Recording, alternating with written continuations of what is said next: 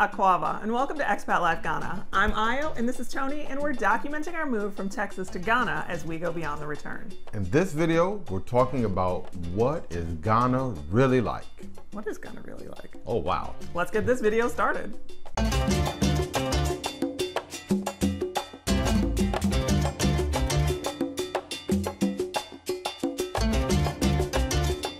What is Ghana really like? Well, Ghana has a lot to offer for sure. Um, I'm a homebody. Ghana Yeah. has nice houses. yeah, I'm not. I like to be out there and enjoy all that Ghana has to offer. Okay, so tell us, what is Ghana really like? Well, if you're a party guy or gal, um, Ghana's the place to be. Um, is that what you're doing all the time when you're telling me you're at meetings? No, no, I'm at the meetings and then the party starts. So, uh, I mean, if you are into nightlife, um, even daytime parties, um, Ghana's the place to be. Accra is, is just hopping and bopping with nightlife. So is there a better day of the week that's more party time, like Friday and Saturday, or is it any day? Mm, Sunday through Saturday. Sunday through Saturday. Yeah. Uh, that's the whole week. Exactly. um, and you'll even find that like smaller villages like in Abri and uh, Mono- Monochrome, places like that over the weekend find uh, people from the city, people who come in from Accra to party because it's less expensive and they go hard there. They Okay. really do. What time is bar time? What time does the party end? Uh, when the cashier stops making money. There's no set time for the bars to close. I've seen places like six o'clock in the morning. Oh my gosh.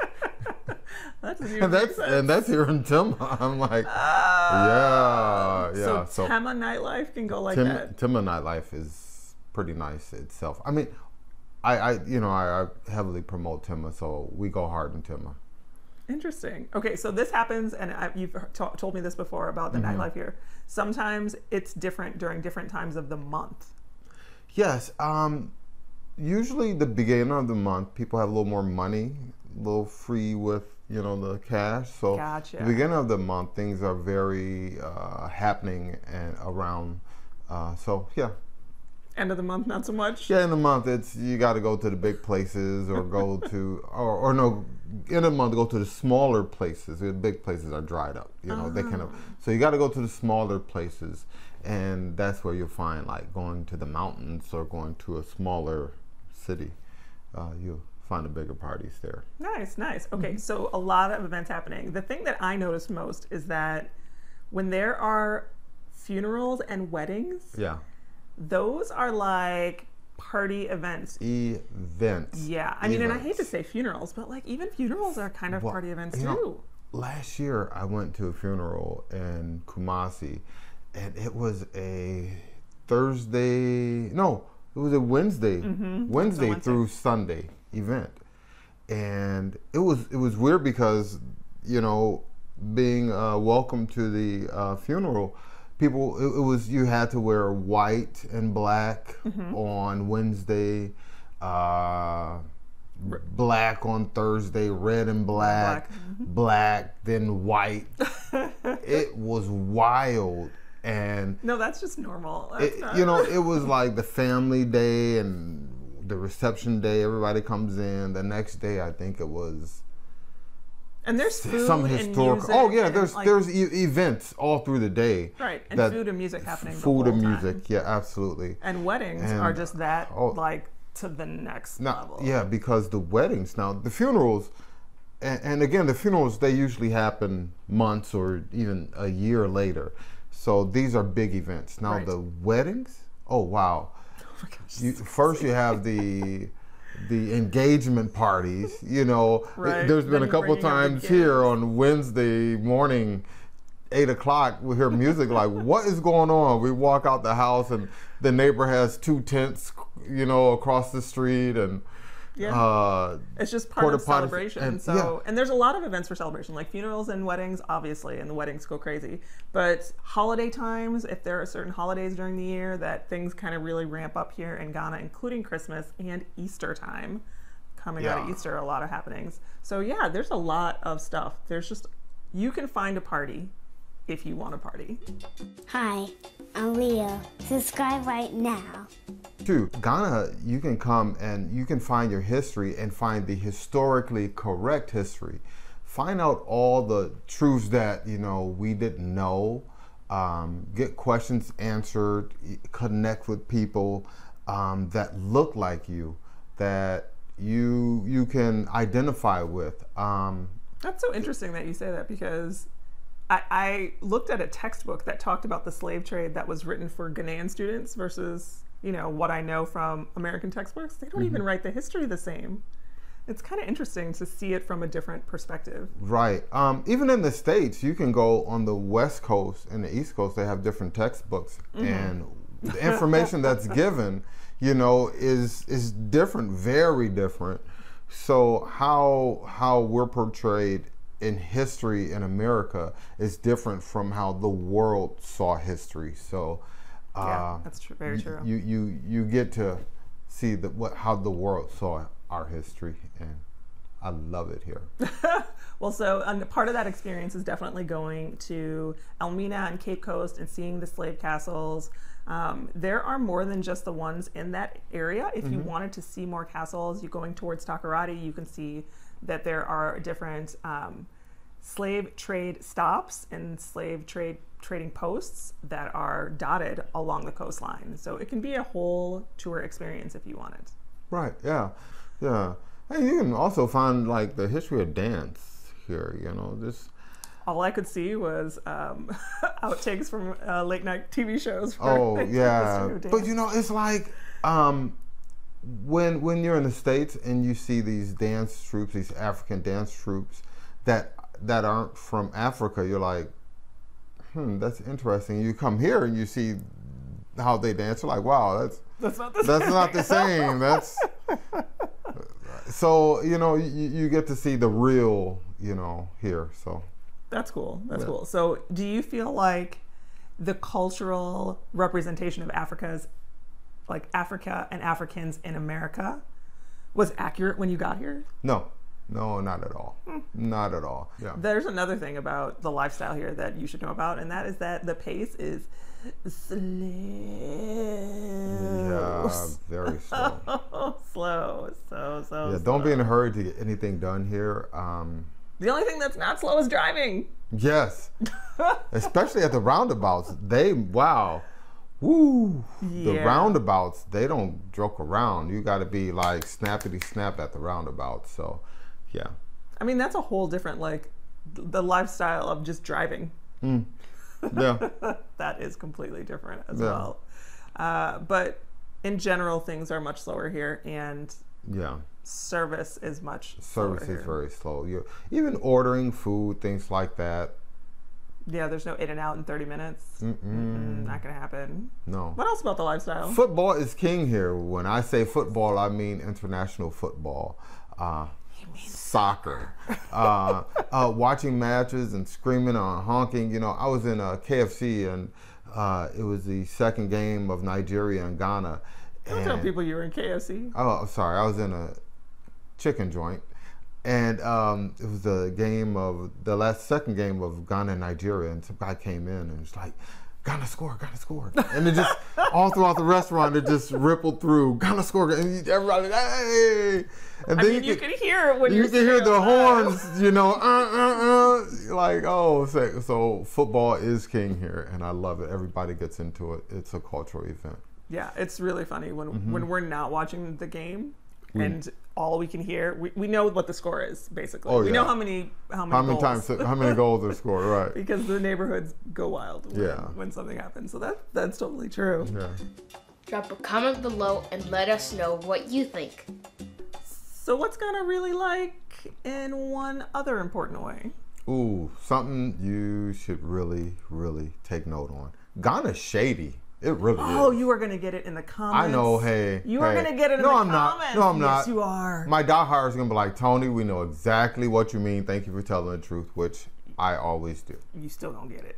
So, I've I've been told from a very very reputable source, don't trust anyone He said he's like, hey, don't trust me. Don't I don't trust my wife, my kids. I don't trust them. If my mama was alive, God bless her soul, I wouldn't trust her.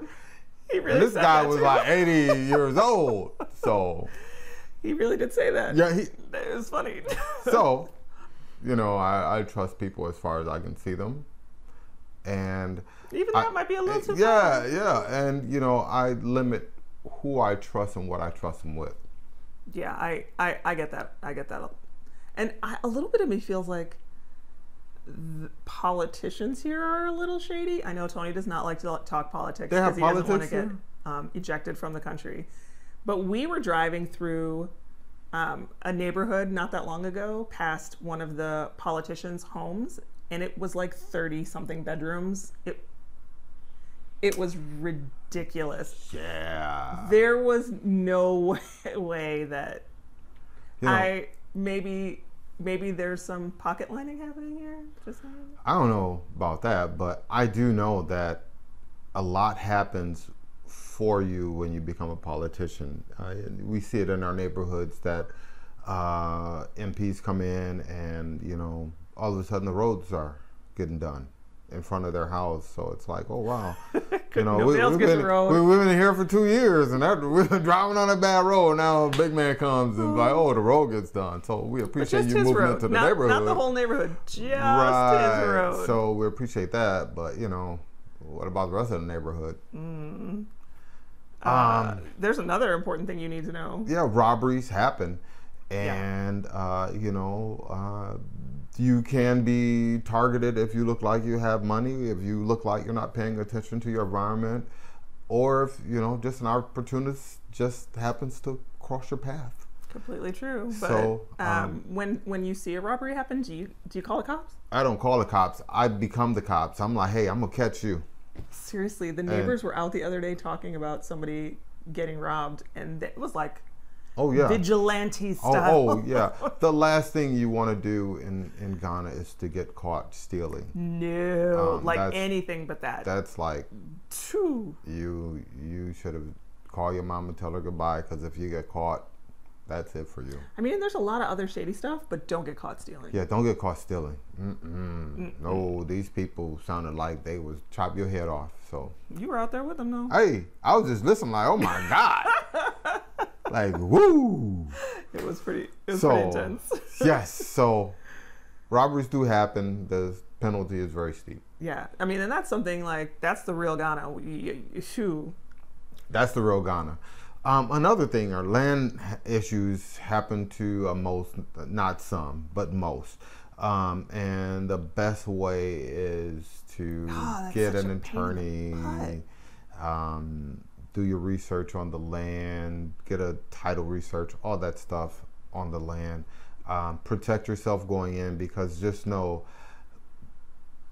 you, it's a 50-50 chance with land that somebody's trying to scam you. Even people who do it legitimately, like we have, well, I have family who's bought land legitimately, only to have land Yeah. problems later on the road. So the real, the real facts in Ghana are buying land is can It's- be can be a challenge. Can be a challenge. I'll yeah. say can be a challenge. Can I'll still I'll stay optimistic. On Yeah, and we're we're challenged with our land issue right now, so we know Totally, it can be uh. a challenge. So what else? How, how else do you feel like what people need to know about the real Ghana? You're Um, gonna love it. the real Ghana is something very different from anything you've you put in your mind. You, you have to come and experience it for yourself. Don't don't just take our word. Don't just listen to us. Come and experience Ghana. Share Ghana. Yeah, and I feel like when you get here, you're gonna love it, Mm-hmm. or you're gonna not love it, Or you're not gonna love it. Yeah. and that's cool. And you're like, okay, I like it, but it's not for me. Okay, I get it. It's not for me. And that's, and that's cool. That's cool. Come and visit, hang out. Yeah, just know you got 53 other options outside of Ghana here in Africa to um, explore. So if Ghana isn't for you, just you know check other places out. But Love that. If. Ghana is for you, yeah, hopefully you'll check out the services that we have on our um, website, www.expatlifeghana.com. Includes tours, day trips, and airport services. and if you're planning your return, join our closed Facebook group so you can connect with folks just like you. It is the only place we put the information for our live in-person events. So definitely join the group if you Right, are right. going to be in Ghana or if you're already moved and live in Ghana. Yep. And hey, did you subscribe? Do it now. Join us for our monthly lives here on YouTube, the last Friday of every month. Oh my gosh, I love our lives. They're so I much know fun. they're fun. They're fun. hey, and with that, Charlie out for now.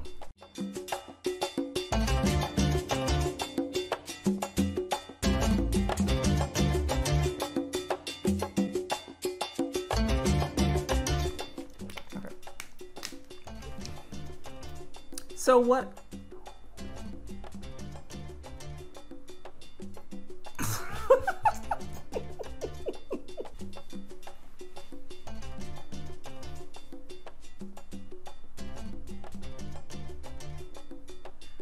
I don't know about the party. No, you don't know about the party. You you don't even like to go out just for lunch.